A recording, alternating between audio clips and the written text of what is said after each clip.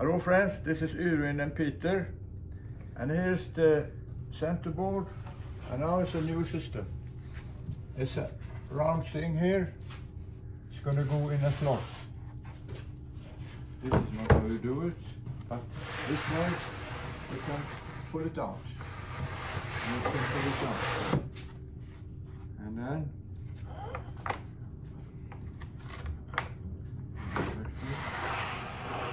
down. And you put in this one. This one.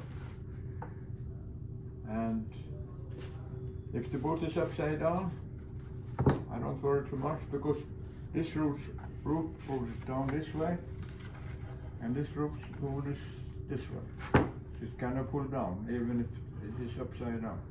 You cannot get out. But the good thing is like you can pull it off. Clean it, put it on back, put it in again. It's okay. So this is just a new idea. And this is just a mock-up. And uh, I will make it of this round thing. I will take a piece of this and I will put this pegs into here and kind of glue it there. So we will see how it goes. So thank you.